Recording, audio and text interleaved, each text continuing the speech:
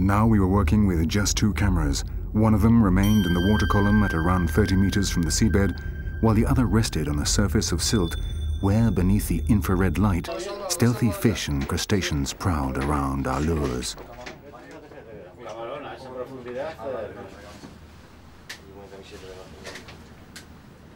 The enthusiasm of the scientists was contagious as they pronounced hypotheses on the species that appeared on our monitors.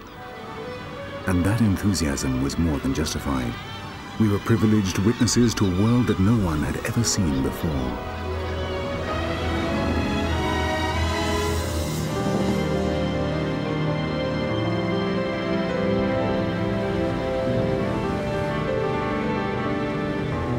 Finally, with the two buoys stabilized, we could continue with the envisaged campaign plan. The time had come to use our submarine robot.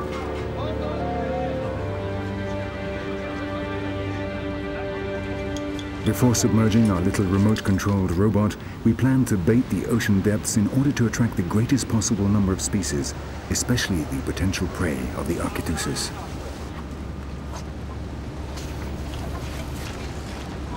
For this, we had brought with us 1,500 kilos of frozen mackerel and sardines. 1,500 kilos, which we had to put into biodegradable bags, then tie these to the sinkers and methodically cast them overboard.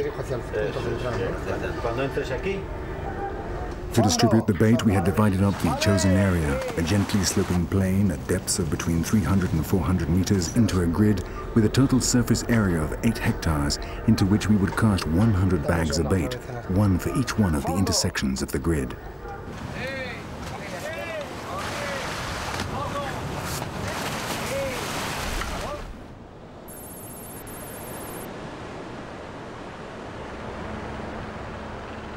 At nightfall, with the baiting completed, the weather began to change.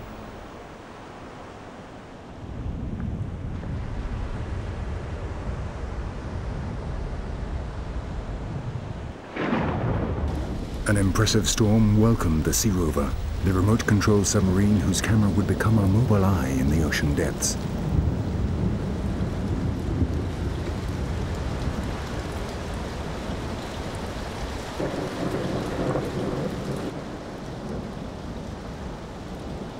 Armed with a highly sensitive video camera, our small emissary set off on its journey, shattering the reigning darkness.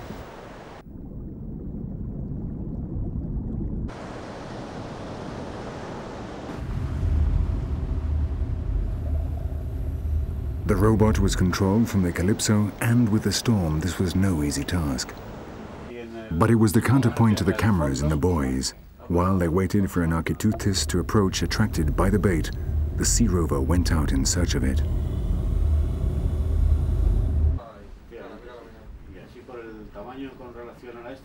Little by little, our spy was revealing the secrets of a world which had remained hidden since the very origins of the ocean.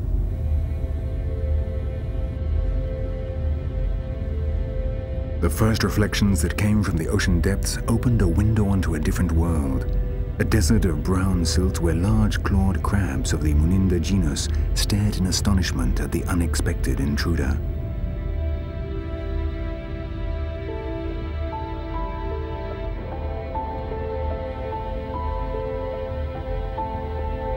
The underwater currents caused some slight problems on those first steps around the ocean depths.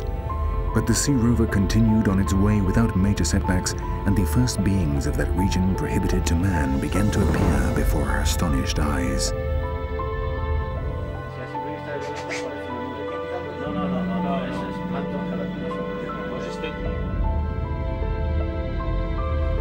From the first moments of its journey around the depths of the ocean, the little submarine robot gave information that filled our scientific team with enthusiasm.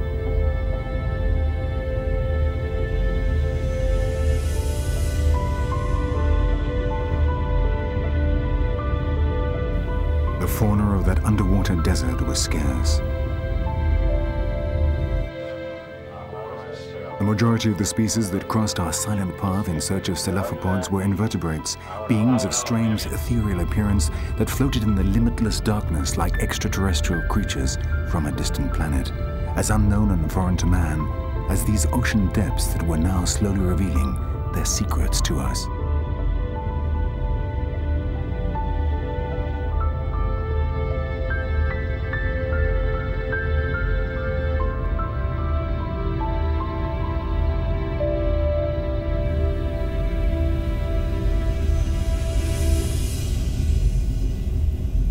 For three days, the Sea Rover plunged down again and again into that strange lunar landscape, where despite the bait we had scattered, there were very few fish, with only certain crustaceans, pennatulas, and the spry and larvae of different species, bringing movement to the desert of silt.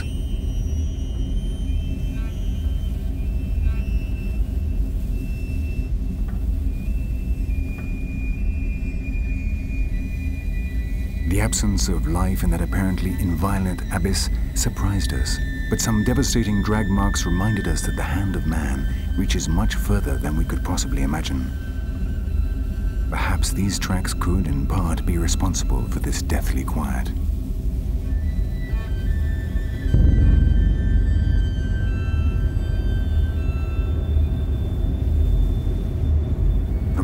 Time the currents disturbed the seabed and a cloud of sediment filled the dark, barren desert of the depths.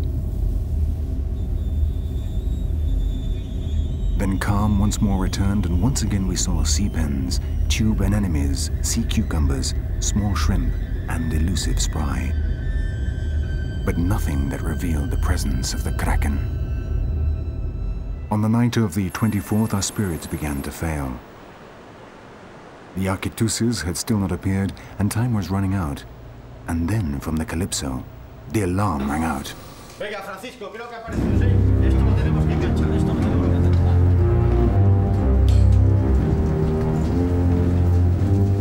We all came out of our cabins and headed towards the Calypso, knowing that the alarm could be our last opportunity to film a giant squid.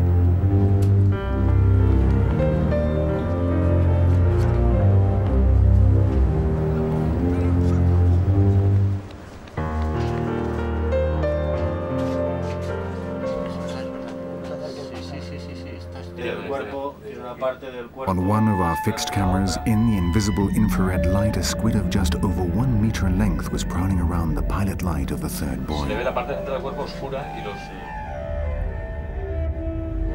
The animal, a Todarodes sagittatus, was an interesting species for our scientists, but its appearance brought the disappointment of not having achieved our objective.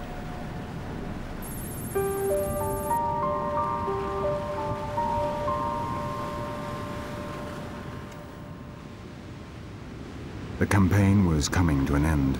We had used up all our time and we felt a bittersweet sensation.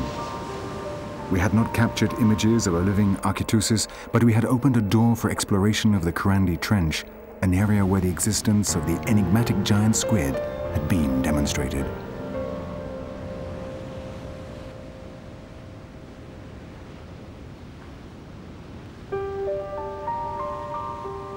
Among the members of Transglobe, a new desire had been born, even stronger and more determined than that which had brought us to the ocean depths of Carrandi. Our adventure had not ended. We had every intention of returning with our cameras in search of the giant squid.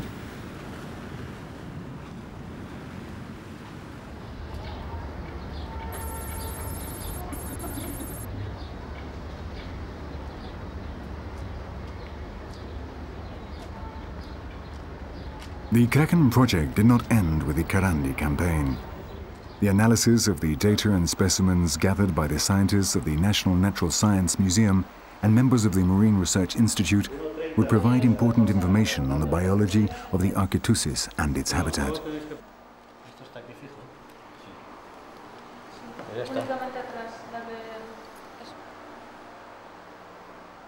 The male caught during the campaign provided new valuable knowledge about the reproduction and feeding of the species. And at the same time as the autopsy was being carried out, the museum specimens and archives were used for an in-depth study of the species that appeared in the images captured during the campaign.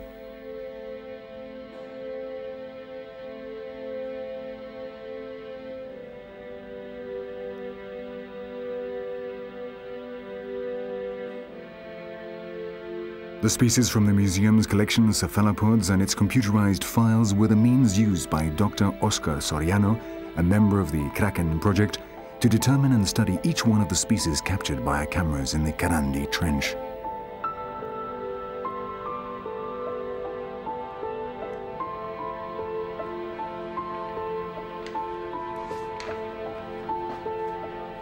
For weeks, Soriano put his patience to the test as he determined the genera and the species of the fish, crustaceans, planktonic, invertebrates, and even some small squid obtained from the hard discs of the cases placed in the buoys.